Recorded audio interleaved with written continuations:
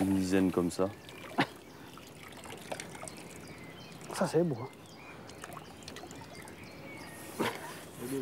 Ça, c'est épais. hein. Une brème bordelière. Elle est belle. Ça tire ça en plus. Poisson qui se défend.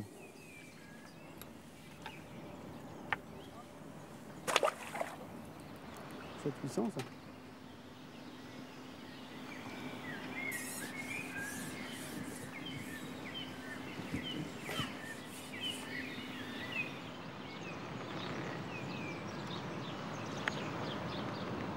Flotteur de 6 grammes, donc euh, beaucoup plus lourd que ce que j'avais précédemment, de façon à pouvoir immobiliser euh, l'èche sur l'amorce.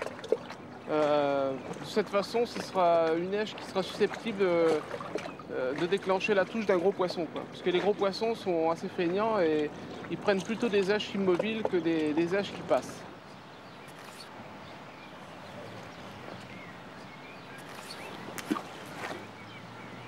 Il faut bien que la boule soit bien dure pour euh, bien cogner l'eau.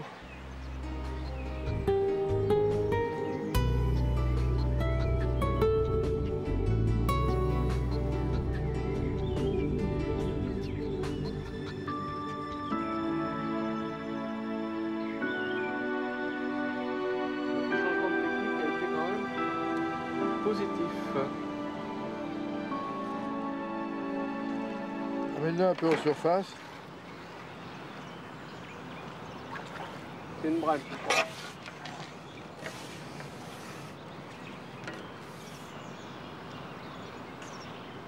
Ah ouais. Alors. Ouais. Celle-là, elle est- le courant, ça l'a tué. Ah bah. Comme quoi, il faut pas grand-chose. Hein. Fais la barre. Ça bouge pas. C'est un beau poisson. hein.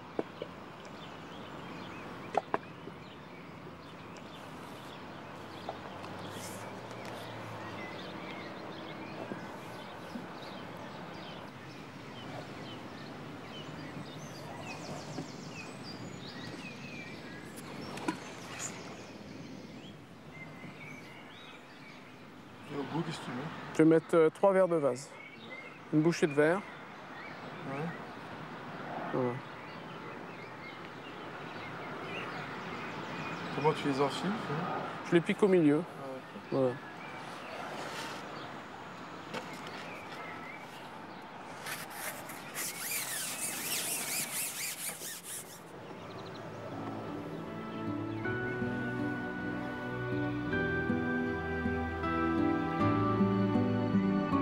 Tu retiens le bouchon des fois Ah, je tiens constamment le flotteur. Je, freine au maximum euh, la ligne.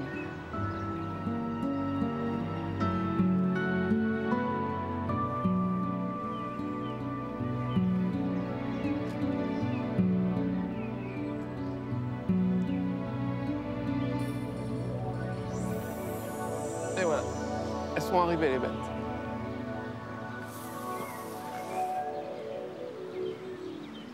C'est pour ça que j'avais plus de touche ce matin. Ces gros poissons devaient être sur le coup déjà.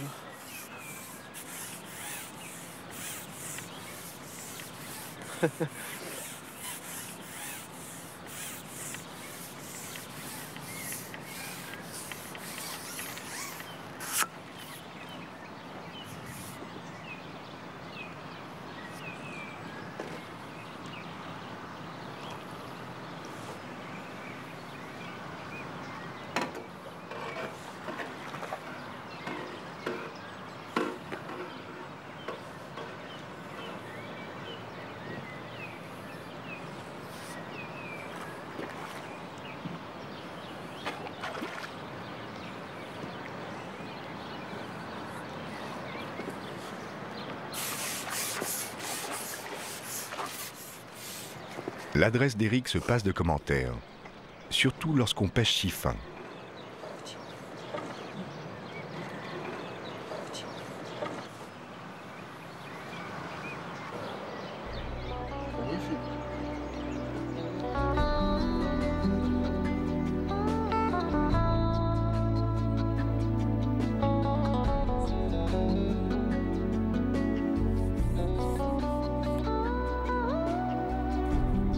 Jean et Gilles continuent de leur côté à cartonner, comme ils le disent si bien, et sur du 10 centièmes.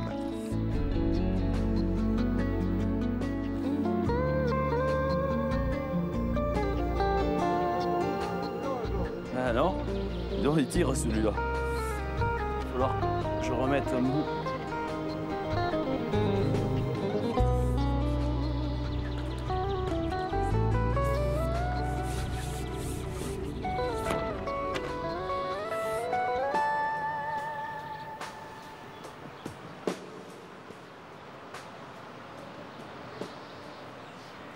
Belle brème.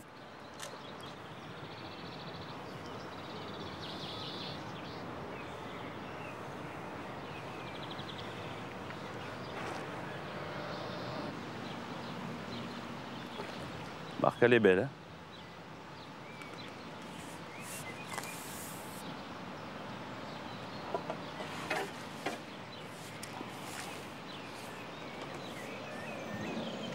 Allez, ça valait le coup de ligne. Elle est belle, hein. Ah, Elle est belle. ouais. On va faire une belle photo là. Elle fait pas loin de 2 kilos celle-là. Ah, elle fait 2 kilos. hein. Je peux pas la- l'attraper, je fais pas le tour avec la main. Regarde ça. Celle-là, elle est belle. hein. Et là sur le côté Ça, c'est du beau poisson. Sur 10 centièmes, c'est pas trop mal. Et toujours le, le bouchon Ouais, plat. avec ce flotteur plat, ça permet de mieux bloquer. Je l'ai bien pris quand même euh, là où Gilles avait réamorcé, sur les boules.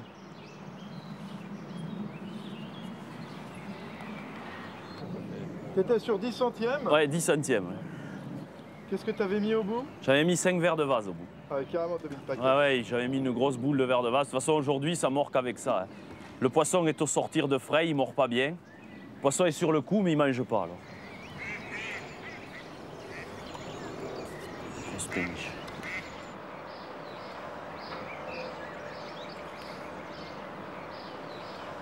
Ah, super.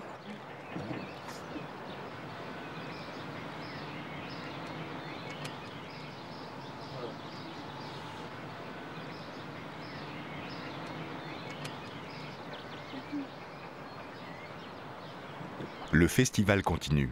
Les trois copains sont en pleine forme. Il faudrait tonton avec les terreaux. Ah, maintenant, il en prendrait.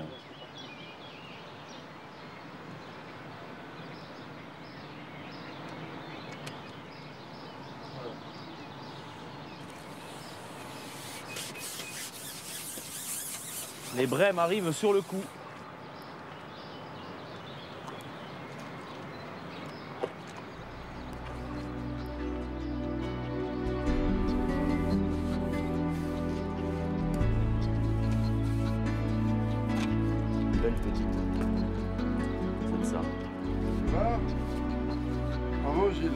800 grammes de plus.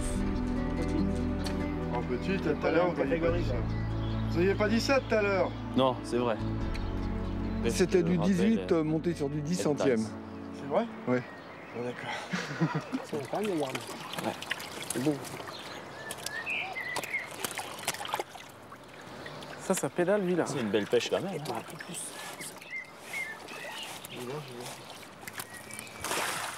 Ah ouais, c'est tout ça. On arrose les poissons pour les remettre à l'eau sans dommage. Voilà.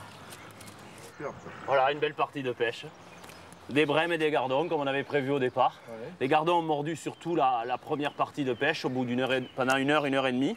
Et ensuite, les grosses brèmes sont rentrées, style celle-là, qui doit faire euh, bonne 2 kilos, plus de 2 kilos. Je vais mettre le tablier. Ah, je pensais pas qu'il y avait ça, même. je suis surpris parce qu'il me semblait qu'on prenait rien. Voilà. C'est ça, ça. Et voilà. Remise à l'eau délicate, ça permet de sauver les poissons. Hop, on la voit repartir.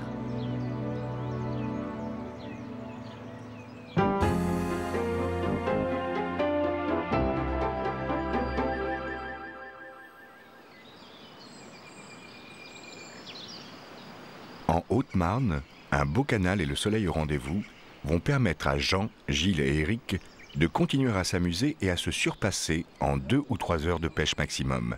Les champions tiennent la forme.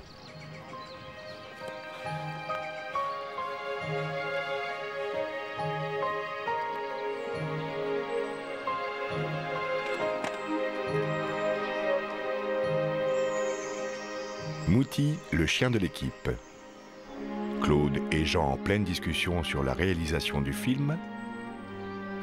Puis Julien, Gérard et David qui préparent les caméras et le son pendant que Gilles et Eric prennent possession du coin de pêche. Troublés par l'arrivée d'une sympathique embarcation.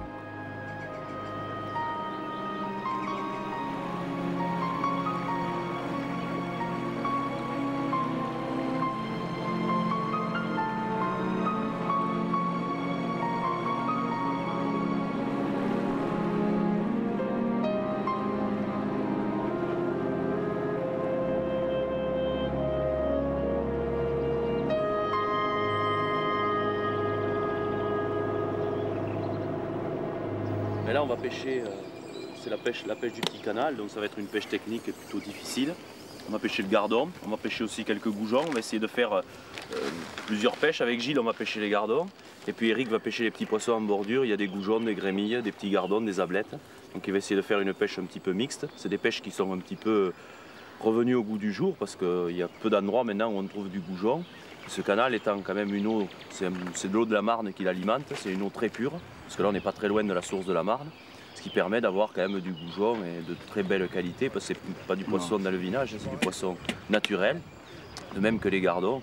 Bon, le, le parcours ici c'est un parcours magnifique, on fait beaucoup de compétitions sur ce parcours. Le cadre, comme on voit, on est en pleine campagne, en pleine nature, et on a du poisson naturel, je dirais, très difficile euh, à attraper, c'est ce qui, qui nous plaît bien là-dedans. Bah, on va essayer de faire ça quoi, une demi-journée Oh, je pense que si ça va bien, là, euh, on devrait avoir le poisson assez rapidement. Bon, écoute, comme hier, alors Jean, Eric et Gilles. Voilà, c'est ça, comme hier. Alors aujourd'hui, euh, Eric, hier, prenait les gros poissons. Aujourd'hui, on lui fait pêcher les petits. Il va- comme ça, il va montrer qu'il est capable de prendre des gros et des petits. quoi. C'est pas les mêmes lignes, les flotteurs. Là, c'est quoi comme. euh, Co- vous faites comme montage, euh, Gilles Bah là, c'est un montage avec des toutes petites lignes, hein, parce que le canal, c'est une pêche difficile. Donc automatiquement, les poissons sont difficiles à prendre. Ils veulent mordre sur des lignes très fines, très sensibles, avec des flotteurs très fins. Donc la ligne euh, fait en gros 0,20 g et le nylon est de 6 centièmes avec un hameçon numéro 24. Pourquoi tu as essayé de te mettre là? Pourquoi j'ai essayé de me mettre là? Ben, Rien de spécial, on a, on a décidé que je me mettais à l'aile puisque je vais pêcher la bordure. hein. Je vais pêcher plus près, donc je vais bé- bénéficier de toute la montée euh, des poissons euh, de l'aval vers l'amont. quoi. Hein, Et c'est, c'est vrai que pêcher la bordure au milieu, ça serait plus difficile puisque mes deux collègues pêcheraient beaucoup plus loin que moi et les poissons auraient du mal à, à rentrer. Voilà. Ici, le canal, il y a entre 2,20 m et 2,50 m de fond. Pas du tout de courant. Donc là, les poids de ligne ils vont varier entre 0,20 g et 0,60 g pour le plus lourd. Donc rien à voir avec la pêche d'hier. Mais par contre, c'est une pêche intéressante qui, qui est à la fois technique et qui permet quand même de s'amuser, même si les poissons que l'on va prendre ne vont pas être très très gros. Comme on va les pêcher euh, de manière très fine avec des petites lignes et des petits hameçons, c'est aussi une pêche très technique et très très bien.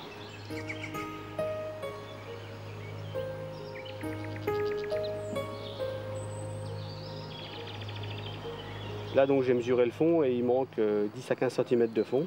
Je vais les rajouter de manière à pouvoir être à ras du fond lorsqu'on va démarrer la pêche.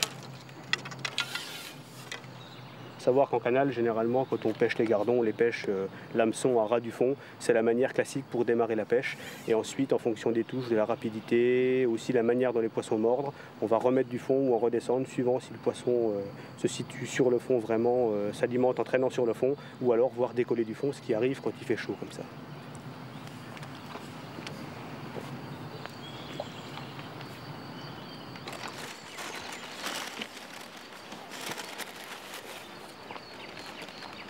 Je veux bien. J'avais déjà pris un, c'est pas grave. Ouais, non Il y en a deux. Bon, merci beaucoup. Petit au chocolat. Riquet? Ça y est, c'est bon, j'ai deux.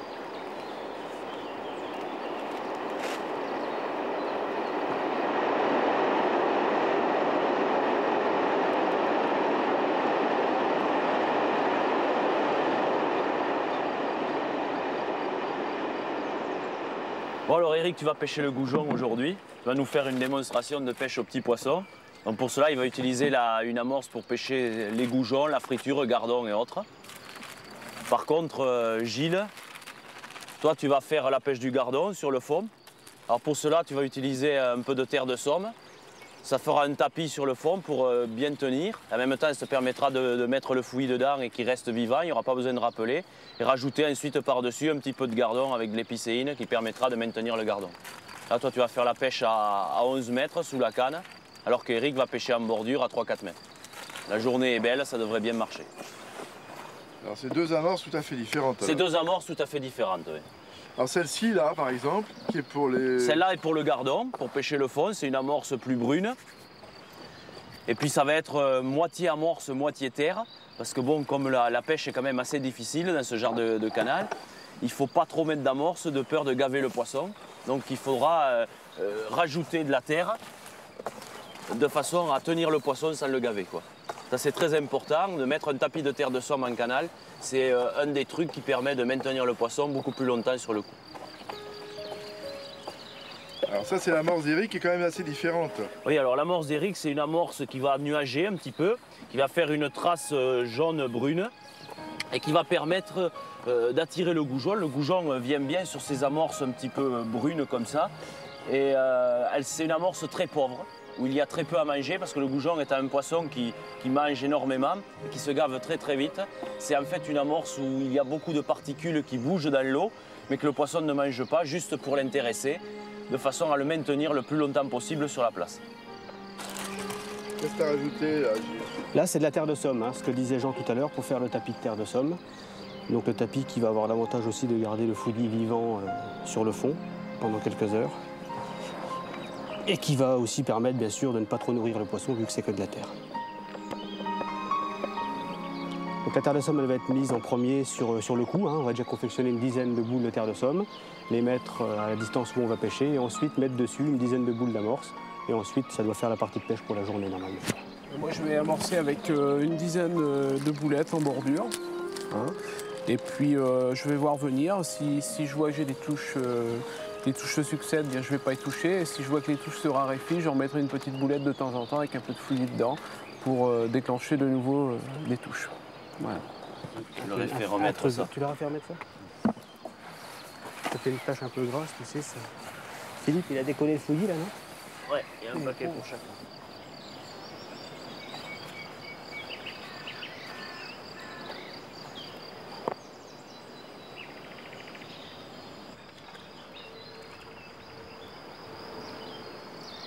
Fais là Et là, je prépare les boules pour amorcer. J'ai mis du fouillis dans l'amorce. et Je prépare mes boulettes d'amorce.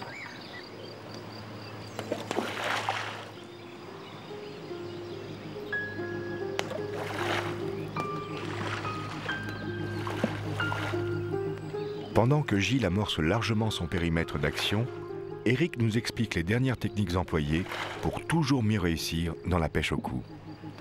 Je vais procéder au montage d'un sion élastique intérieur.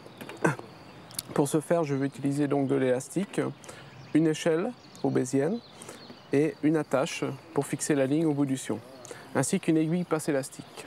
C'est une aiguille en acier que l'on va glisser à l'intérieur du sion. Et à l'extrémité, il y a un chat, comme un chat d'une aiguille, on va mettre l'élastique dedans. L'avantage de ce petit ustensile, c'est que lorsque le sion est mouillé à l'intérieur, ça permet de tirer l'élastique en force, alors que sinon il y a toujours de l'eau et l'élastique qui collerait à l'intérieur de la paroi du sion. Donc euh, on met l'aiguille.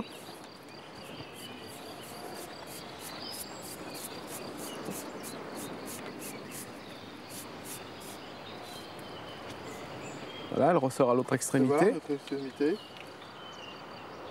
D'accord. Donc après, je mets de l'élastique. Alors l'élastique est assez fin parce que dans cette pêche, on va utiliser des petits hameçons. Donc il faut un, élastique très très souple pour éviter de, décrocher les poissons. Parce que si on avait un élastique trop gros, on, déchirerait la gueule du, du poisson au moment du ferrage.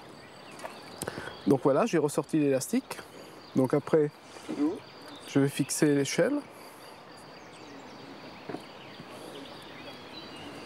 Voilà.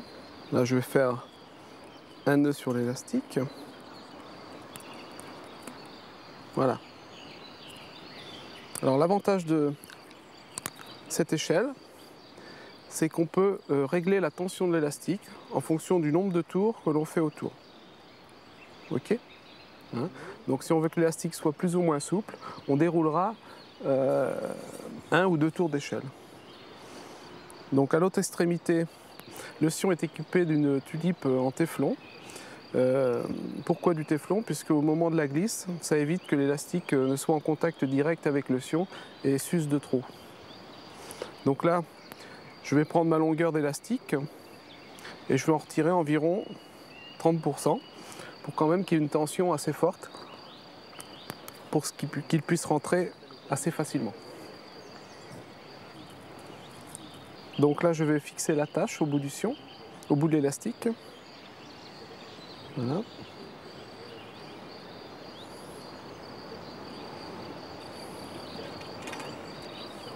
Donc là, c'est le même principe. Je fais un nœud. Voilà. Que je serre. Et voilà. Je recouvre la tâche avec le petit capuchon. Voilà. Vous voyez, lorsque le poisson est pris, est ferré, donc il tire et l'élastique ressort. Ce qui permet de pêcher très très fin, hein, avec des nylons très fins et de ne pas casser. Voilà. Puisque le, le rush du poisson est amorti par la souplesse de l'élastique. Ok et à l'autre extrémité, donc j'ai ma petite échelle. Et là, je vais défaire un tour. Fais-la bien voir. Voilà. Pour que l'élastique soit encore plus souple. Et plus Ah. l'élastique est souple, euh, et moins on a de risque de décrocher les poissons. Puisque le poisson ne, ne se déchirera pas la gueule avec l'hameçon. C'est parfait. Ok